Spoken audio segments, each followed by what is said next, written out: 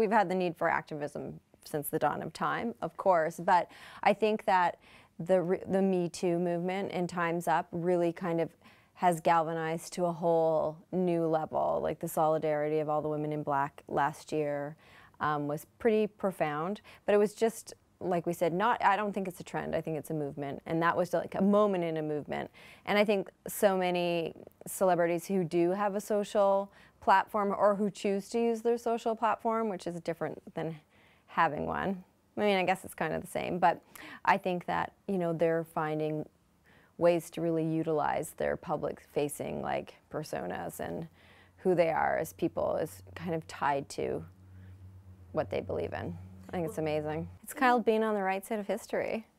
In a way, it's just like I don't really have time for brands who aren't supportive of the environment or the correct causes. Like there are brands I won't use because I don't politically align with them. And not politically as in you're a Democrat or Republican. Obviously we have that divide nowadays and it's safe to say what side I'm on, but it's this is a new form of currency is activism and you can use it really powerfully and for really good and use it for good for lack of a more loftier term. But i think yeah brands recognize the power of speaking up and aligning themselves with like-minded people. I think that the days of just being like oh i look pretty in a dress which i love. We love celebrating fashion. We love wearing beautiful clothes or but they're coming a little bit to a close. And i think it's a good thing that there's different ways of using power.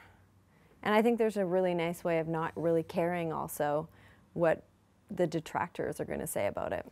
I think if you're working with me, you know that I'm bringing more of a sustainable and a thoughtful and a conscientious approach to my work. So it's kind of a no-brainer here.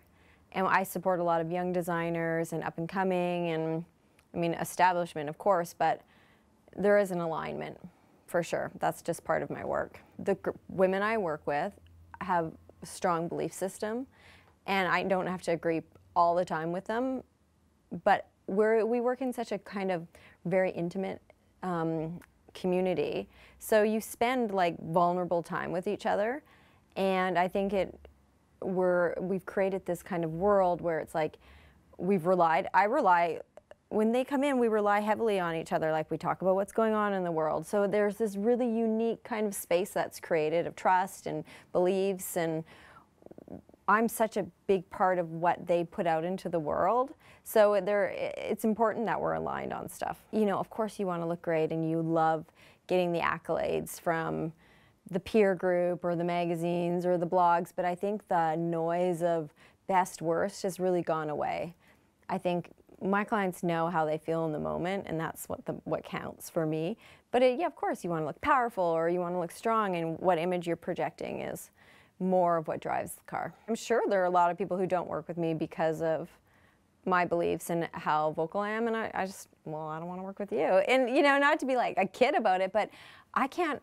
Why would I? That would be so sad if that was my thoughts. If like you didn't say something that was way more important than a dress. And if that is something, ooh, we don't want to work with her because of that, well, okay. I'm okay with that. And that's, I'm totally okay with my choices. I mean, a couple times I posted something I was like, ooh, should I have said that? And then I'm like, no, I should have.